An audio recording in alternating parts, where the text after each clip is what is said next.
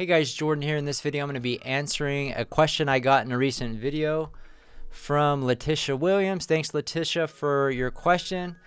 And she asked, um, or has a comment, I already have a dream to become a real estate photographer, but I don't know anything about business or whatever.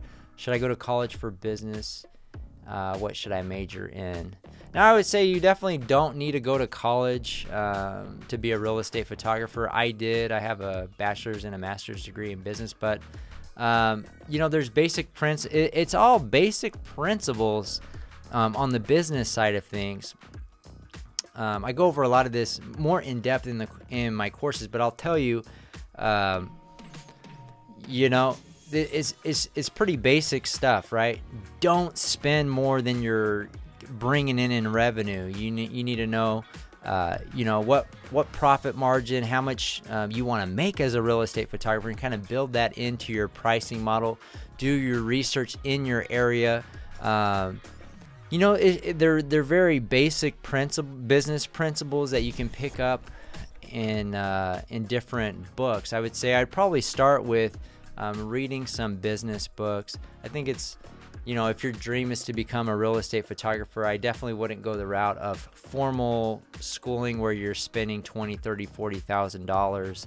I think you can get that knowledge from a 20, 30 dollar uh, book. I think there's, or even some courses, um, but you know, I think you can find success in this business without going to those lengths. But um, there are, if you want. Uh, book recommendations, I can give you some book recommendations um, around the business side of things. But it, it's for the most part in this business, it's pretty basic, right? There's it's not too complex, right? How much do you charge customers? How much time are you spending shooting, editing?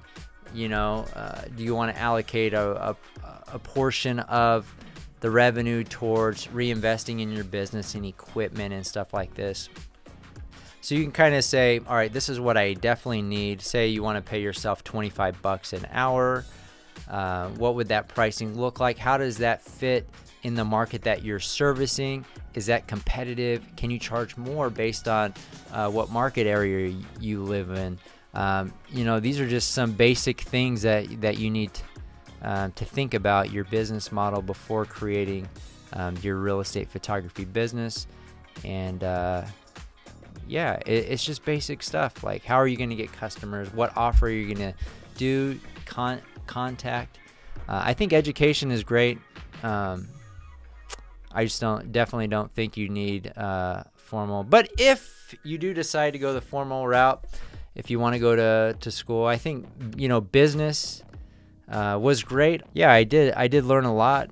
It did help me, but I think I learned more. The majority of uh, of running a business is from experience and uh, just avoiding uh, some issues that you might run into, right? Cash flow issues, and that's why I'm saying before you start your business, sit down, figure out your business model, your strategy, and uh, anyways, that's kind of a long-winded answer, but uh, my answer would be no to to college, and it's just uh, you know, in my opinion, just getting the experience and, and getting knowledge through uh, consistently reading books and investing in yourself. I think college is, a, is an investment in yourself, but there's plenty of other ways to invest in yourself and save money. So, anyways, if you're interested in learning more about the real estate photography business, you can check out my free workshop.